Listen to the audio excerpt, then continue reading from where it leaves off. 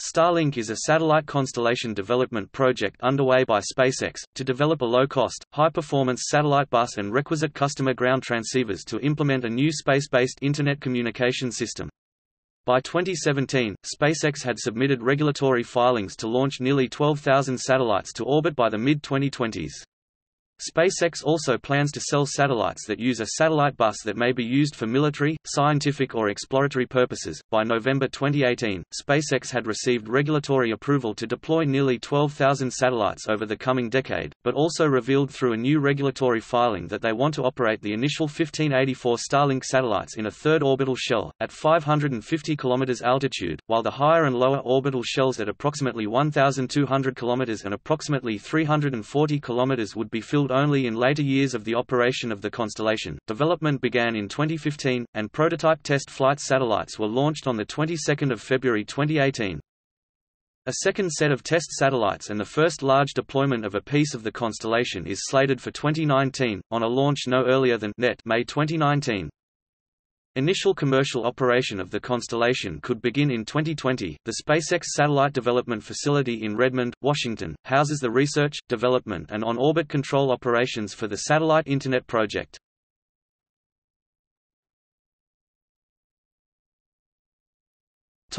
History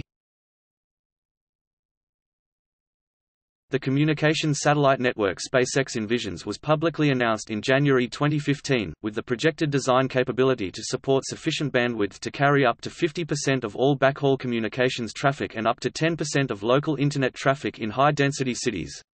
CEO Elon Musk said that there is significant unmet demand for low-cost global broadband capabilities. The opening of the SpaceX Satellite Development Facility, in Redmond was announced by SpaceX in January 2015, to develop and build out the new communication network.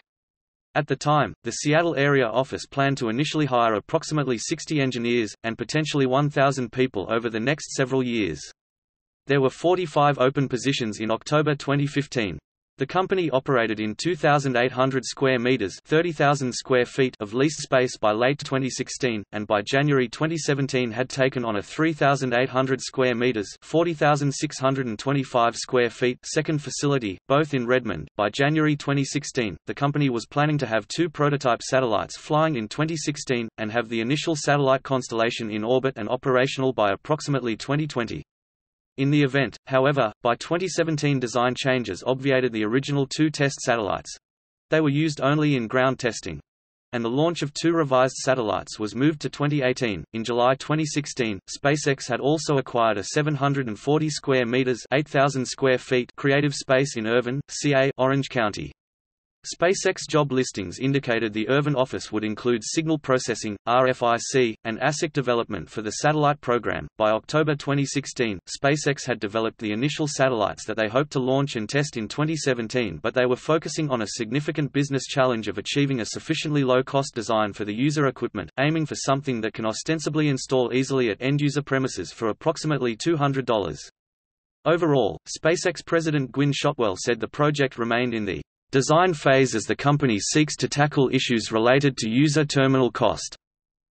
Deployment, if carried out, would not be until late in this decade or early in the next. In November 2016, SpaceX filed an application with the FCC for a non-geostationary orbit satellite system in the fixed satellite service using the Ku and Ka frequency bands.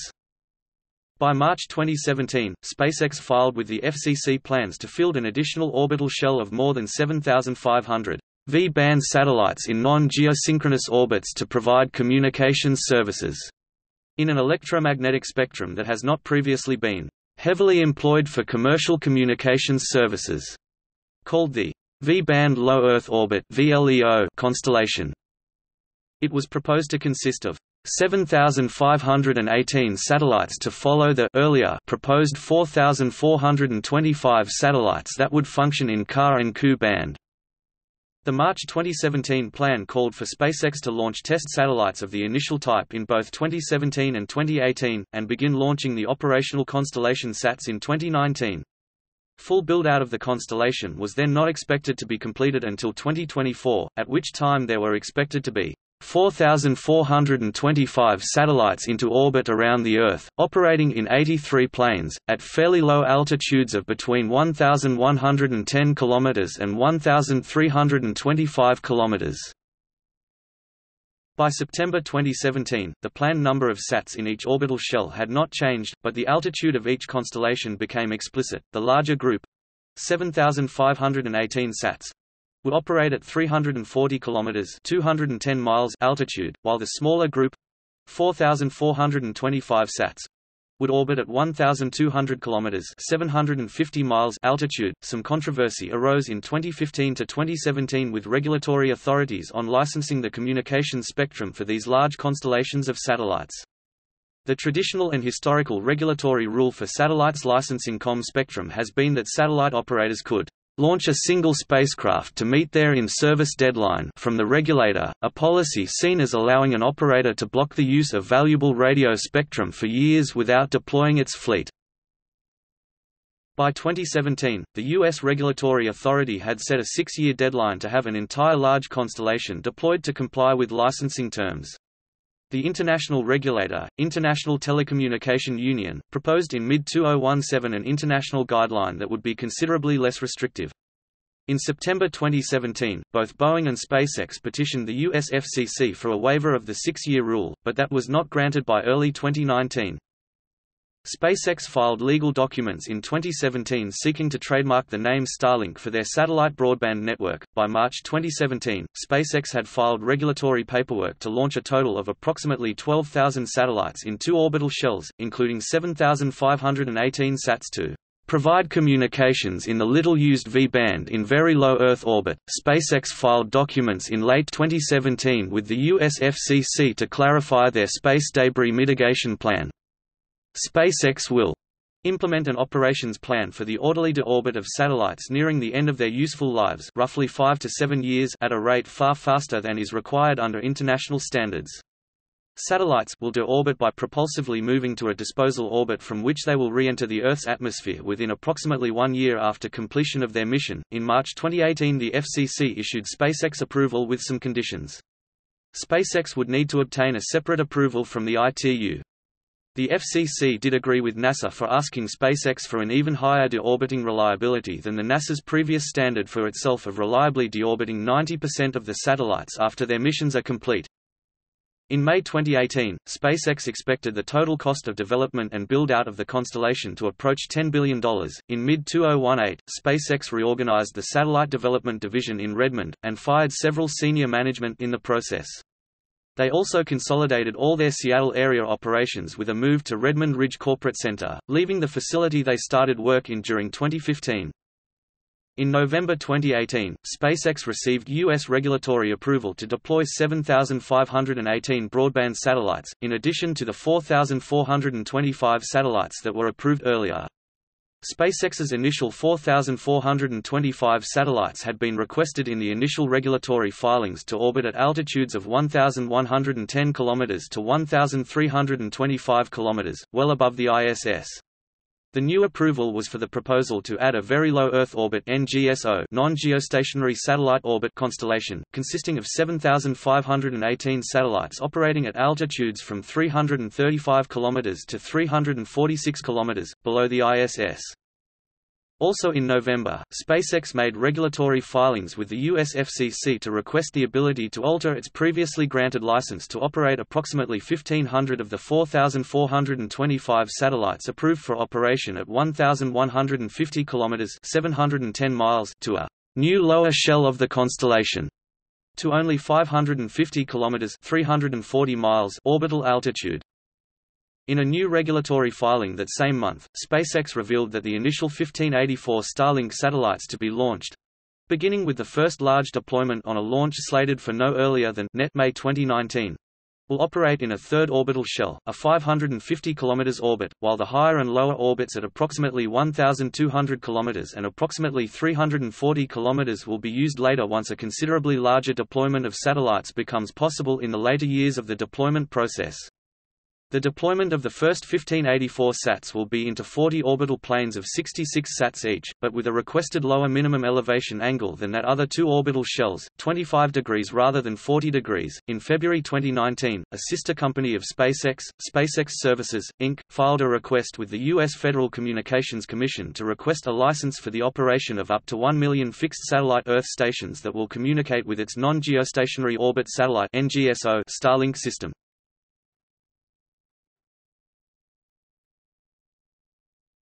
Topic: Services.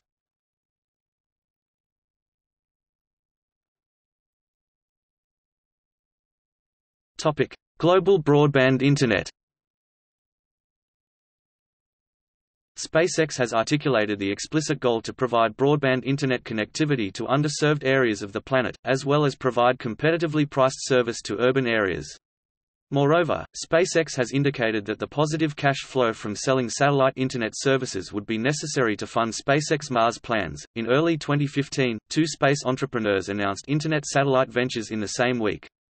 In addition to SpaceX CEO Elon Musk announcing the project that would later be named Starlink, serial entrepreneur Richard Branson announced an investment in OneWeb, a similar constellation with approximately 700 satellites that had already procured communication frequency licenses for their broadcast spectrum. After the failures of previous satellite to consumer space ventures, satellite industry consultant Roger Rush said in 2015, It's highly unlikely that you can make a successful business out of this.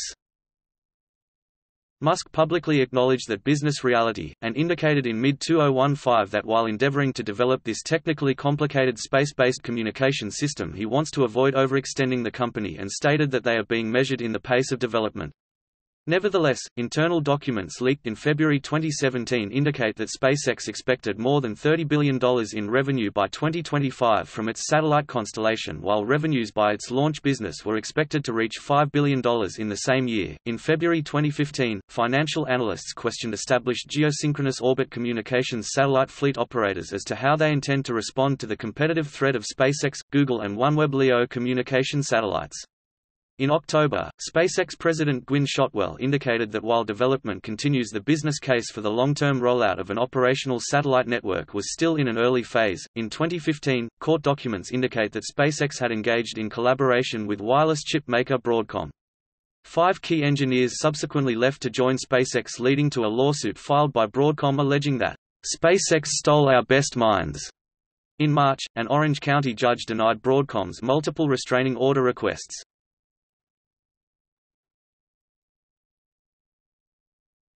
Topic: Extending to use beyond Earth. In the long term, SpaceX intends to develop and deploy a version of the satellite communication system that would be used on Mars. In the mid-term, SpaceX is interested in the SATCOM system on Earth generating revenue that would be helpful in providing capital for the company's Mars transport project.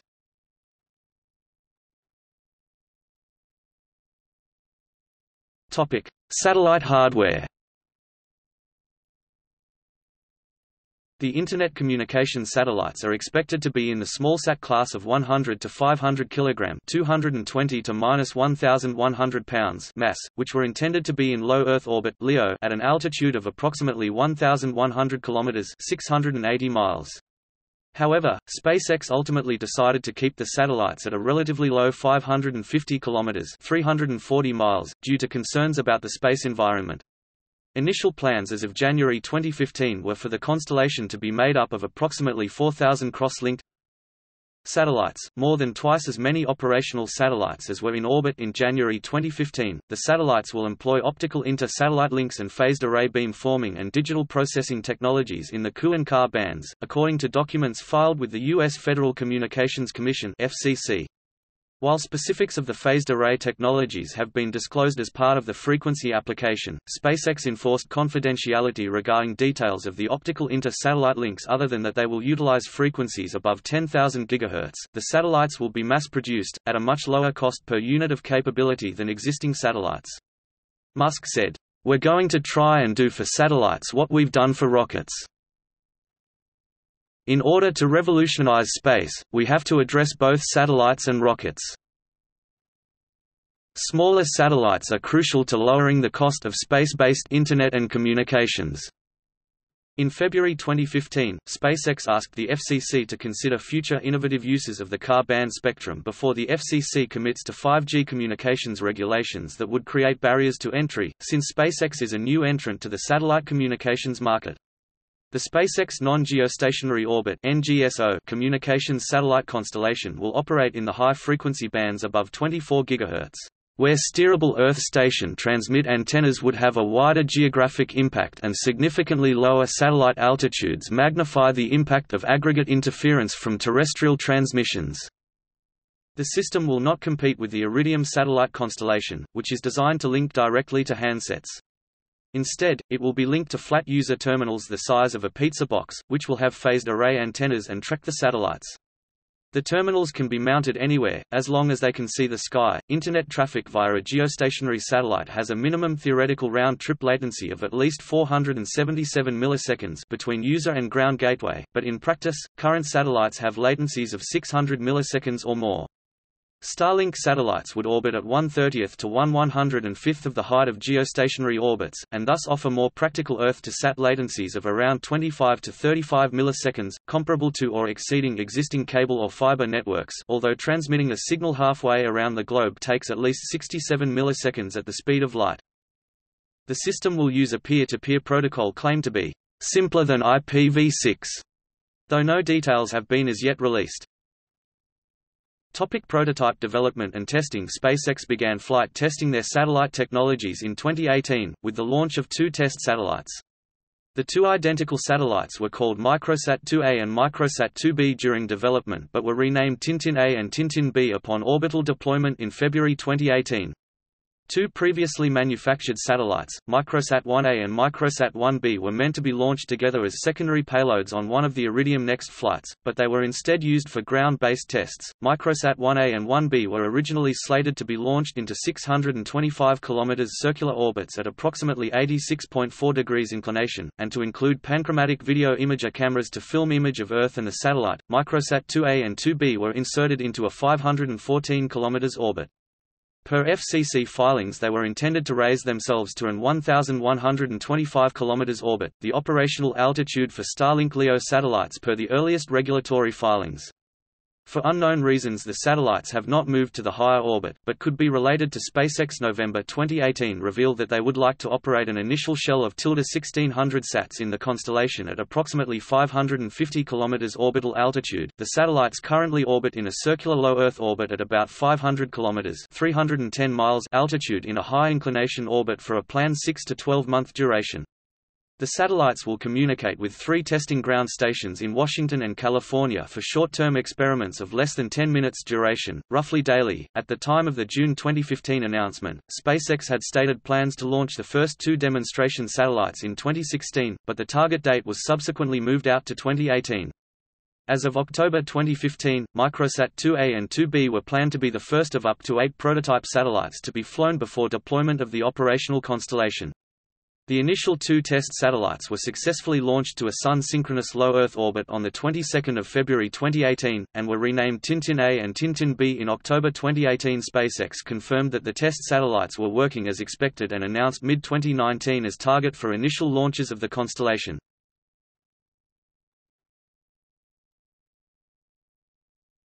Topic: Competition and market effects. In addition to the OneWeb constellation, announced nearly concurrently with the SpaceX constellation, a 2015 proposal from Samsung has outlined a 4,600 satellite constellation orbiting at 1,400 km 900 miles that could provide a zettabyte per month capacity worldwide, an equivalent of 200 gigabytes per month for 5 billion users of Internet data. Telesat announced a smaller 117 satellite constellation and plans to deliver initial service in 2021. By October 2017, the expectation for large increases in satellite network capacity from emerging lower altitude broadband constellations caused market players to cancel investments in new geosynchronous orbit broadband comsats.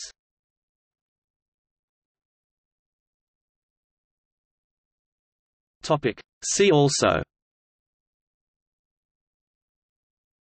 Globalstar, a low Earth orbit LEO satellite constellation for satellite phone and low-speed data communications Iridium satellite constellation, an operational constellation of 66 active LEO satellites used to provide global satellite phone service. OneWeb satellite constellation, a proposed LEO satellite constellation to provide global Internet broadband service to individual consumers as early as 2019 ORBCOMM, an operational constellation used to provide global asset monitoring and messaging services from its constellation of 29 LEO communications satellites orbiting at 775 km Teledesic, a former 1990s venture to accomplish broadband satellite Internet services. Viasat Communications, offers an operational Internet service from four geostationary satellites. Laser communication in space, key technology used to establish the inter-satellite links of the Starlink constellation.